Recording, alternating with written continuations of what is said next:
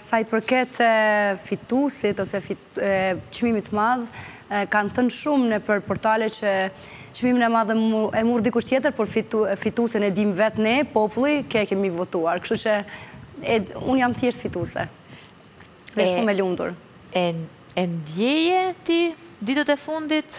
Kishe ndonjë pritshmëri, kishe ndonjë parandjenjë, shpresoje që do fitoje, mendoje që duke pasu një personazh si Stresi aty brenda, Do e kishe shumë të vështirë. Unë ditën e parë kur kam hy, pak a shumë i kam ditë kush do hyjë n' Big Brother, sepse unë mendoj që njeriu edhe në jetën reale kur shkon në takime të punës ti duhet me pat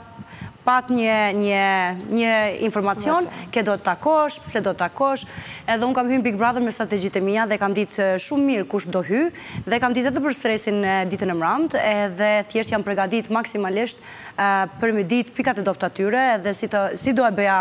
këtë lojën time. Por unë nuk jam nuk kam pat frikë kurrë nga fan base i Stresit as e as kujt tjetër ato dhe jam shumë e lumtur që populli e ka dashtë një personazh Xhulin ashtu siç është real dhe jashtë punëtore një vajzë shumë tradicionale por shumë internacionale në njëjtën kohë që i flet pesë gjuhë që bën shaka që është vetvetja thjesht këtë e kanë dashtë publiku dhe Duke parë, kur kam dalë, e kam parë sa shumë gjithandej shqiptarët nëpër Evropë, nëpër botë, në Kosovë, Shqipëri, Mal të Zi, Maqedoni, e duan këtë personazh, unë thjesht jam fituese njëqind për qind. Dhe i falënderoj të gjithë ata që më kanë mbështetë.